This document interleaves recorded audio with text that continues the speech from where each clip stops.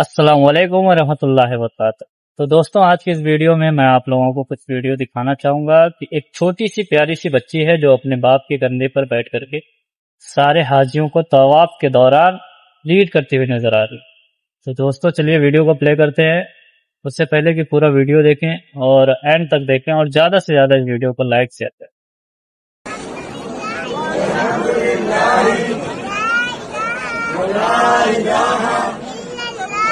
إلا الله والله أكبر ولا حول ولا قوة إلا بالله ربنا آتنا في الدنيا